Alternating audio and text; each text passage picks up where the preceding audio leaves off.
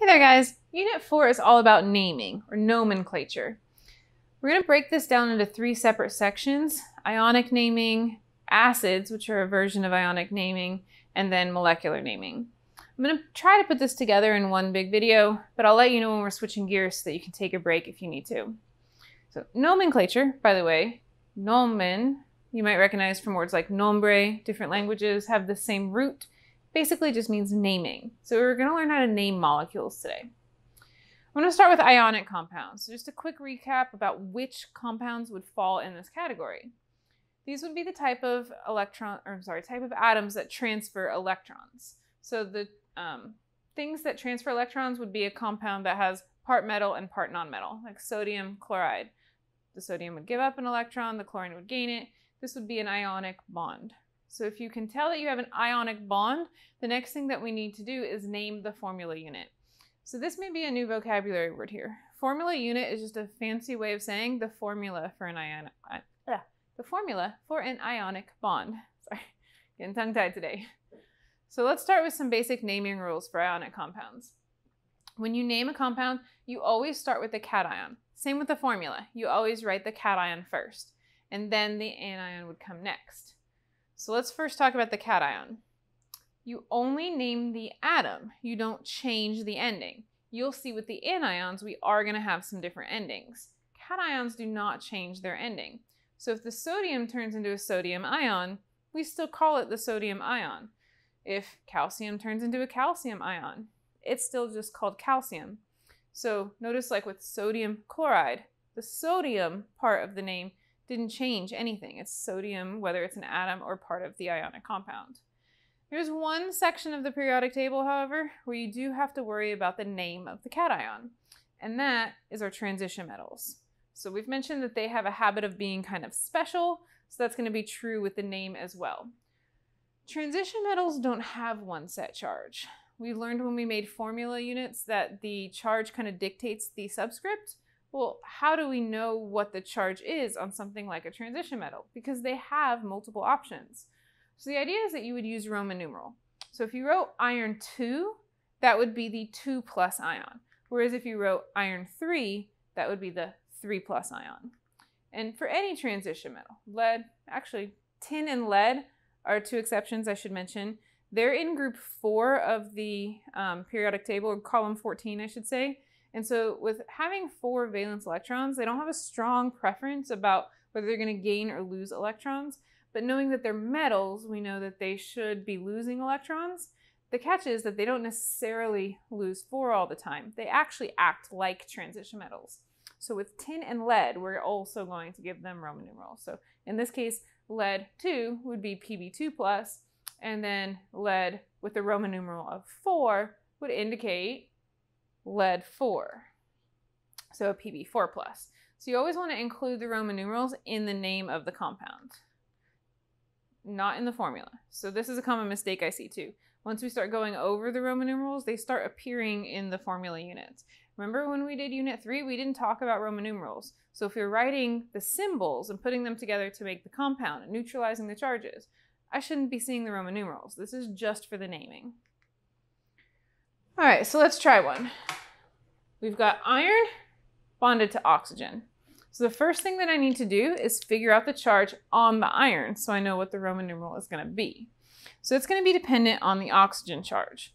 We know that oxygen has a minus 2 charge, and we know the entire compound is supposed to be neutral. So then what would the iron need to be in order to cancel out the oxygen charge and become neutral? Plus 2. That plus 2 can cancel with the minus 2 to make the neutral molecule. So when we name it, we are going to write out the name of Fe or iron.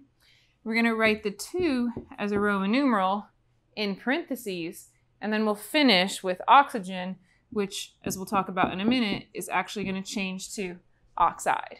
So FeO would be named iron 2 oxide.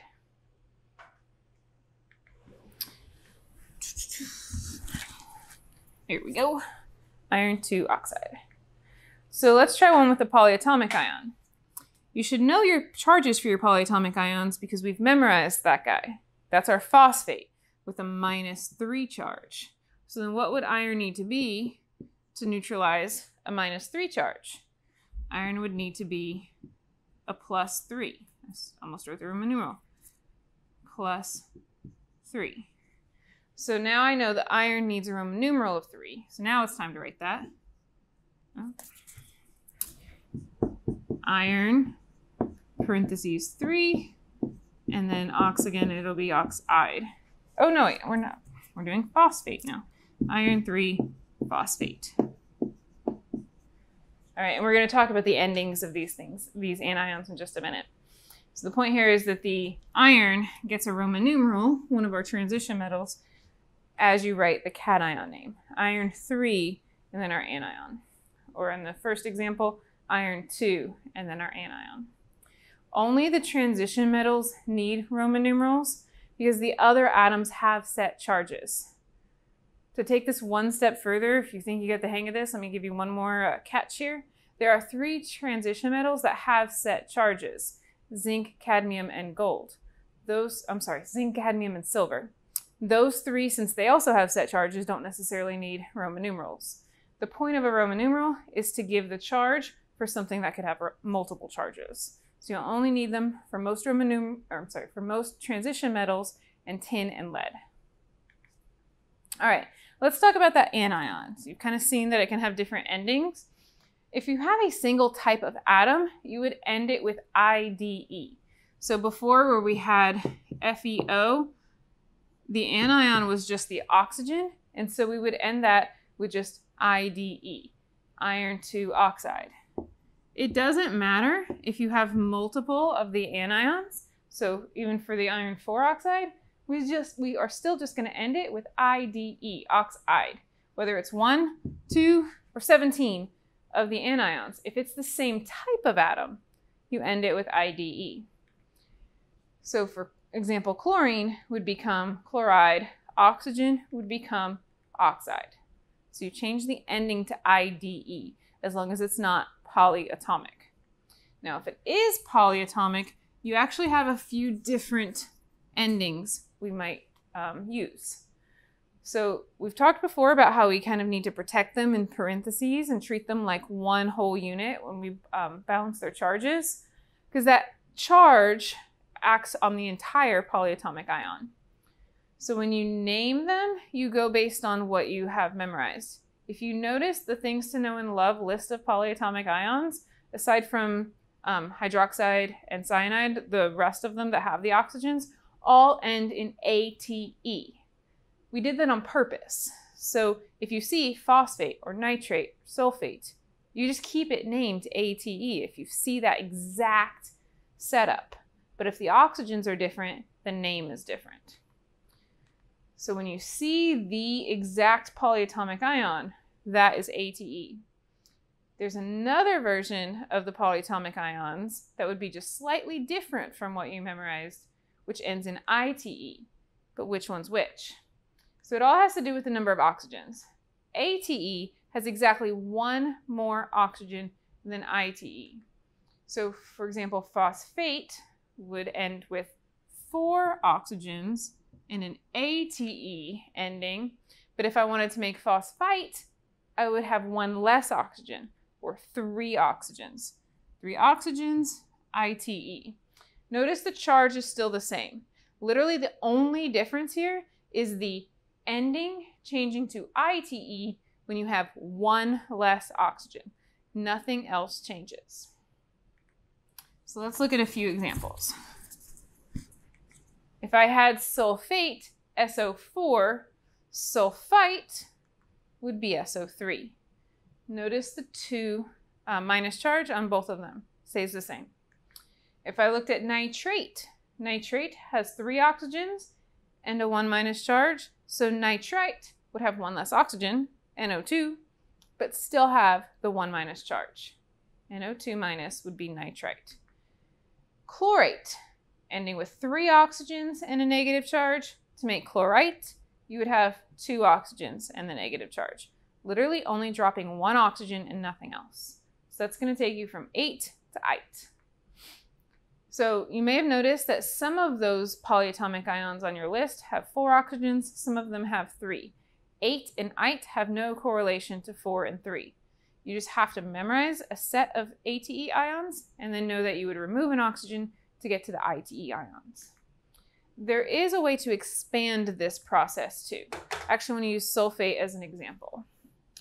So sulfate was SO4 2 minus, and then to make sulfite, ITE, you would go from SO4 to SO3 and then still have the 2 minus charge. But what if I had even one less oxygen? So there's actually a prefix that means less or low. So we can put that prefix on sulfite, hyposulfite to get to SO2 minus. There's also a prefix that means more oxygen. So that would be per. So if I had per sulfate, again, notice I have more than eight, so I'm keeping the A. That would be SO5 2 minus. You may have heard the prefix per, such as hydrogen peroxide, where water would be H2O, hydrogen peroxide would be H2O2, more oxygen. So we can also use that for per sulfate, SO5 2 minus. So these are all the different variations we could have of our sulfate ion. To make it a molecule, we would need to bond it with still a cation, and then we could have the cation and one of these anions, and that would be our um, formula unit when they come together. So we're just talking about the anions here, just to be clear. These are our options. All right. So let's try some. We've got the names here, three of them that give you the name and you're trying to find the formula unit or the formula, basically. And then we were given the formula and then we have to name those molecules. So let's give those a shot. All right, so for magnesium, that would be Mg and would have a plus 2 charge. And sulfate would be SO4 with a minus 2 charge.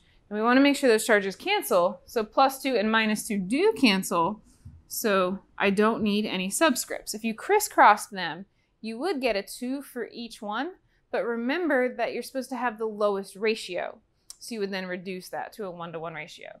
So let me just bake these a little closer together. The formula unit would simply be MgSO4. Aluminum, Al, has a plus 3 charge. And sulfide would have a minus 2 charge. The IDE indicates it's the single type of atom, which is how I knew it was just regular sulfur as opposed to sulfate or sulfite. It's not polyatomic when you end in IDE. Now we would want to balance these charges, so we're going to crisscross. We'll bring the 3 down to the S, and we'll bring the 2 down to the aluminum. So let me rewrite this here. We've got Al2 S3. All right, last one going this direction. Calcium, Ca, has a plus 2 charge, and chlorate, ClO, uh, oops, ClO3, perchlorate, ClO4. So chlorate, ClO3, would have a minus 1 charge. But to balance the plus 2 charge, I'm going to need two chlorates to crisscross. So let me go ahead and put that in parentheses and put the 2 on the outside. So basically, going from name to formula, you want to identify your atom or polyatomic ion with its charge and then do your crisscross. If you end up with something that reduces, always reduce it. Now let's go the other way. For lithium, the cation, I am just going to write out lithium. I'm not going to change the ending. And then for PO4, I've got to figure out if 4 was one of the things to know and love. Is phosphate PO4? And the answer is yes. So I'm just going to name this phosphate. So lithium phosphate, done. Now let's look at Ba3N2. So first Ba is barium. It's not a transition metal, so I don't need a Roman numeral. Then I'm going to look at the nitrogen. I have a single type of atom. Even though there's two of them, I don't have a polyatomic ion. I don't have a set of atoms. So this is just going to be nitride, IDE. Last one, aluminum, and then NO2. So aluminum, again, not a transition metal, so all I need to worry about is writing aluminum down. No ending change, no, no um, Roman numeral. Now I want to look at NO2. Is NO2 what we memorized? No, it should be NO3, nitrate. So this is one less oxygen, which would make it nitrite with an I because I have one less oxygen. So you got to be careful there. If you have less oxygen, it ends in ITE. The normal amount of oxygens would end in ATE. And if it's not polyatomic, it ends in IDE. So the ending here is the trickiest part. The only thing you got to watch out for with the cations is those Roman numerals. So here's our examples for our ionic bonds.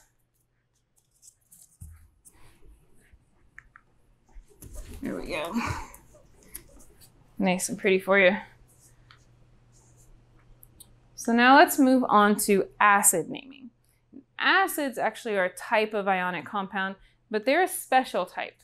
With acids, the cation is always hydrogen or H+. plus. So this would be the hydrogen ion attached to some anion. Now this anion can be just a single atom, like HCl, or it could be a polyatomic ion, like HNO3.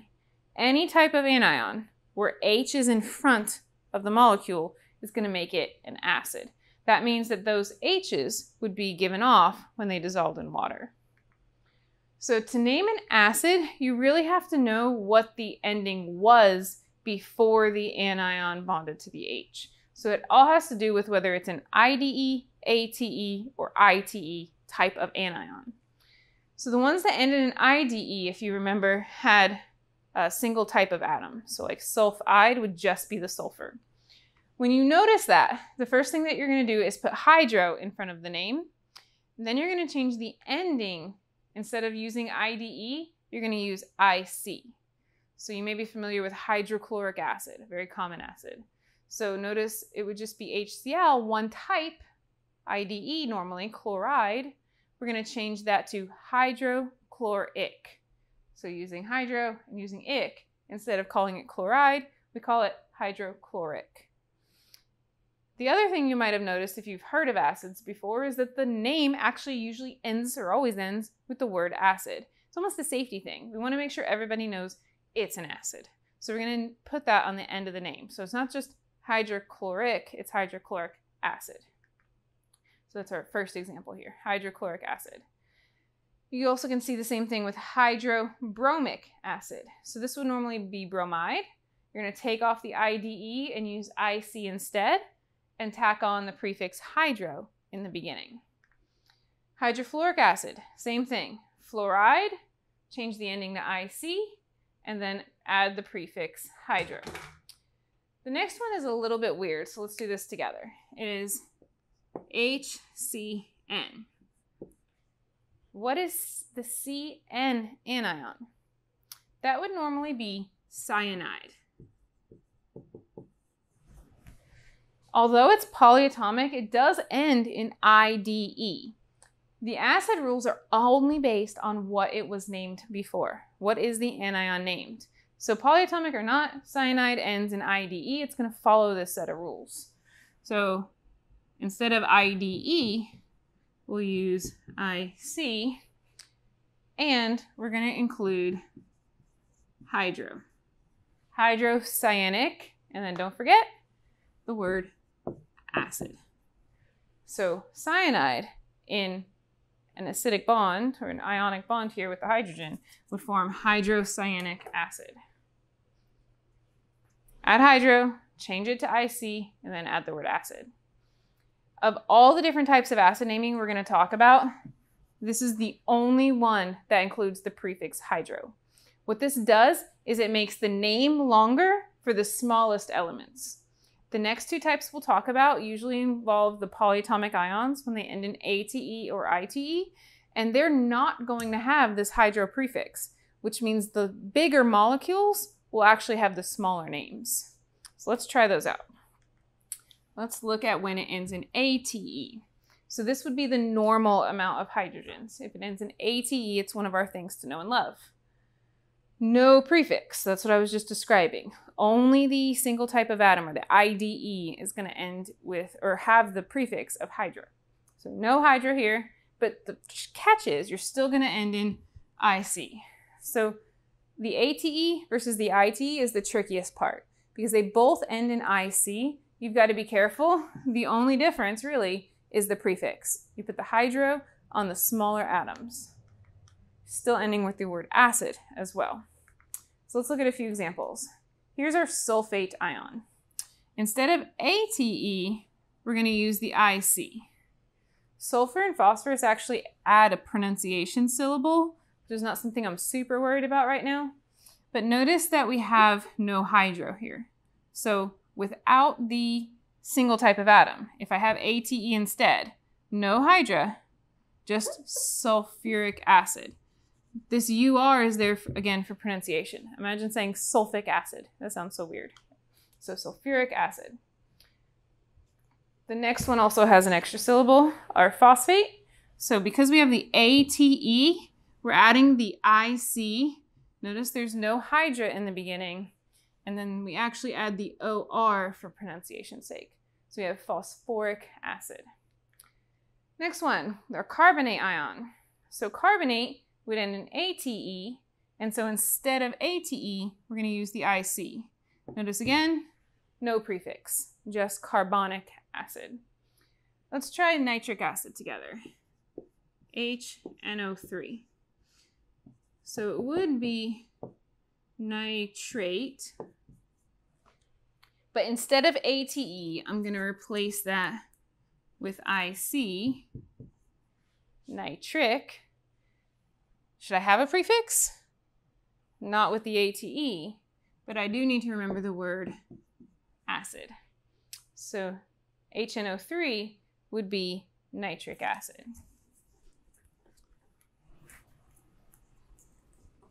There's our last one. Something else I want to point out while we've got these formulas up here. Notice I have two H's versus three H's and even one with only one H. How could I tell how many H's? Well, these are ionic bonds.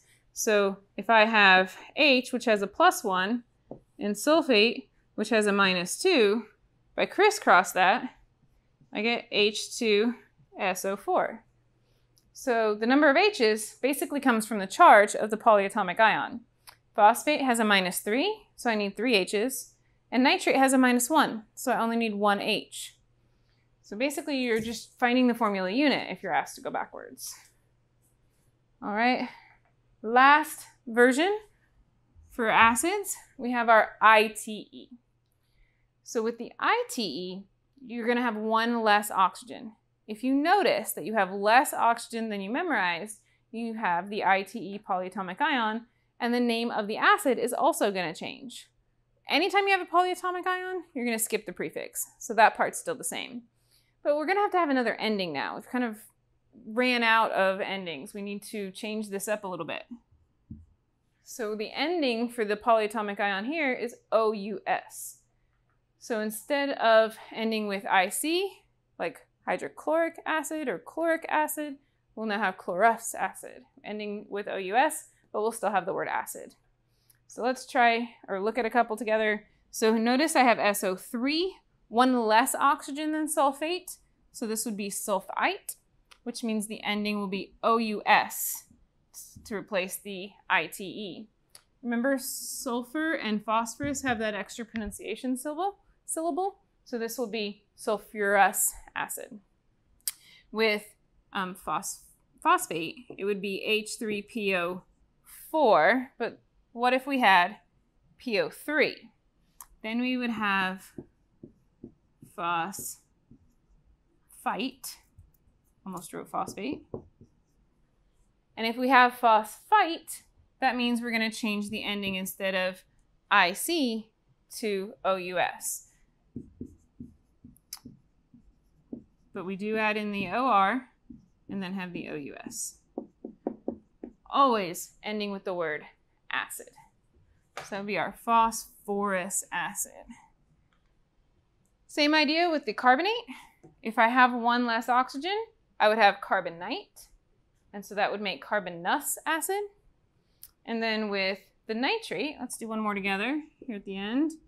HNO3 would be nitrate, but to make it nitrite, I would have one less oxygen, so NO2.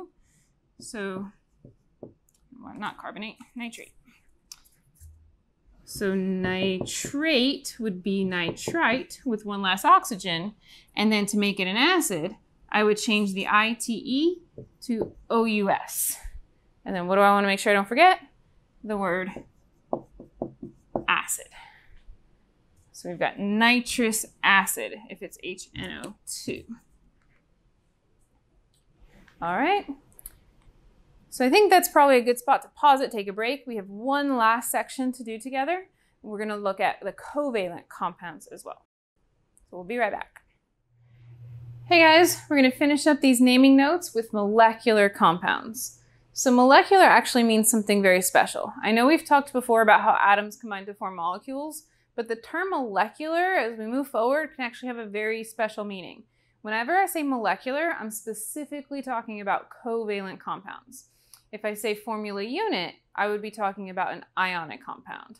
So there is a difference now that we're in this bonding and naming unit and moving forward too. So molecular compounds, I mentioned, need to be covalent. So that means they're going to share their electrons and be made of all nonmetals. So when I write the molecular formula, I do need to indicate how many of each type of atom there are.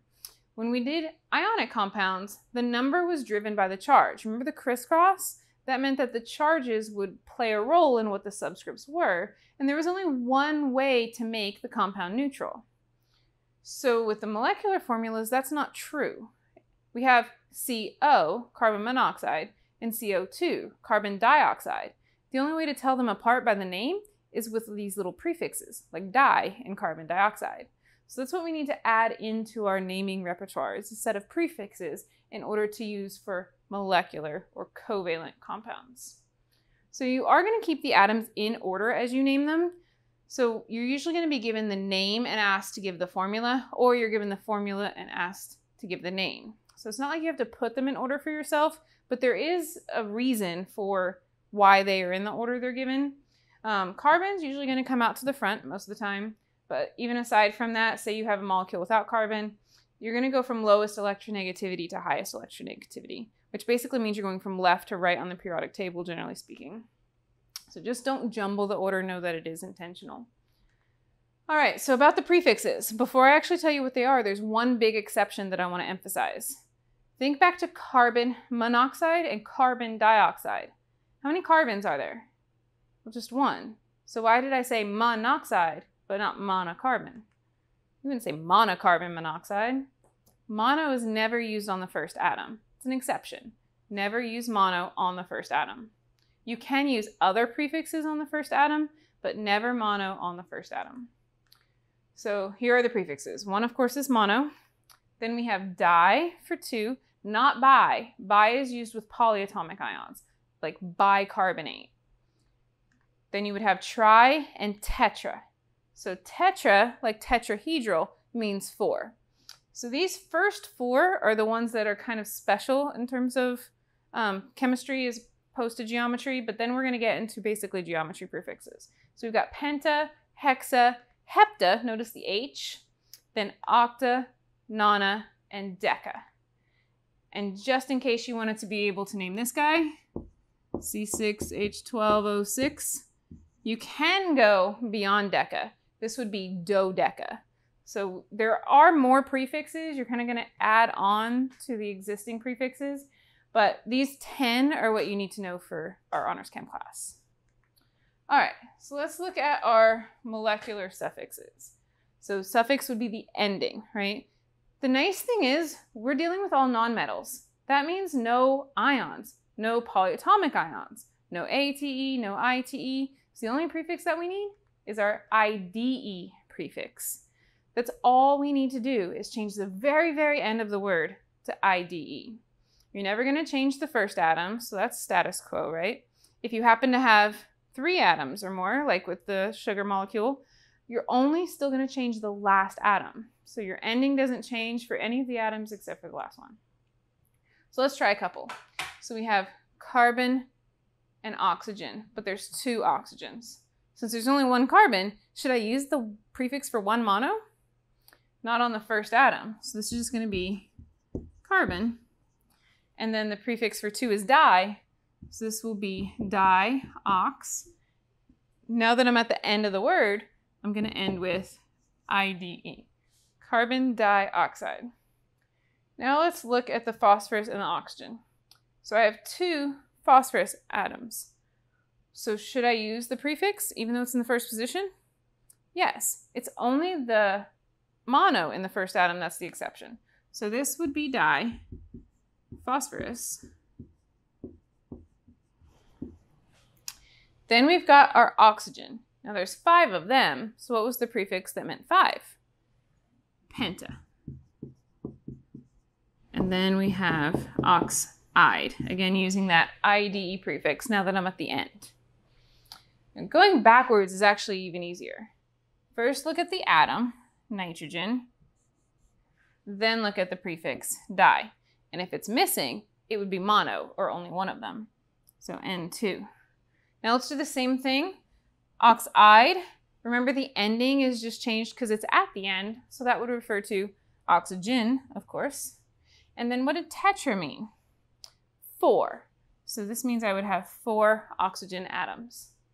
Now let's look at nitrogen monoxide. So nitrogen is N, and the prefix is missing. So it's missing, that means it's mono, and we don't write the one subscript. So that's an understood one. Now, monoxide means one oxygen. So I write the oxygen, and then I see I just have one of them, and again, that's understood. So this is just NO for nitrogen monoxide. So we have both going from name to formula and formula to name. The prefix just tells you how many of that particular type of atom you have. So you need to be able to go from formula to name and name to formula. So that wraps up our molecular bonding, and with that, our unit four on naming. The next notes you'd be looking for would be on unit five. We're going to start getting into something called moles. So I'll see you there.